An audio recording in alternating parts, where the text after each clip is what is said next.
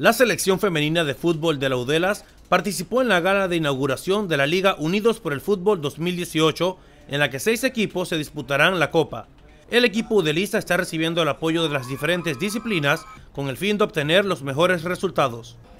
Bueno, tenemos un equipo eh, bastante sólido, tenemos unas muchachas con mucho talento y médicamente hablando pues también muy preparadas. Ya las hemos eh, evaluado algunas que otras lesiones menores que, que,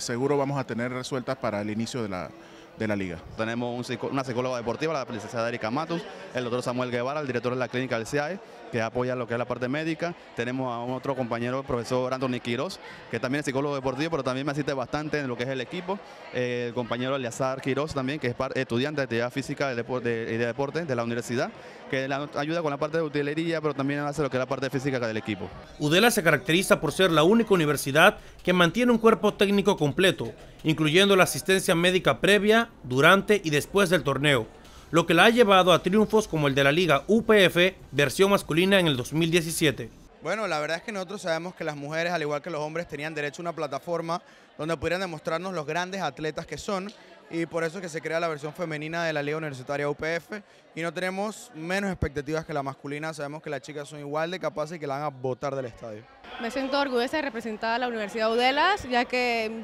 veo que tengo, cuento con un equipo Las universidades que participarán este año son Florida State University, Universidad de Alta Dirección, Universidad Católica Santa María la Antigua, Universidad de Panamá,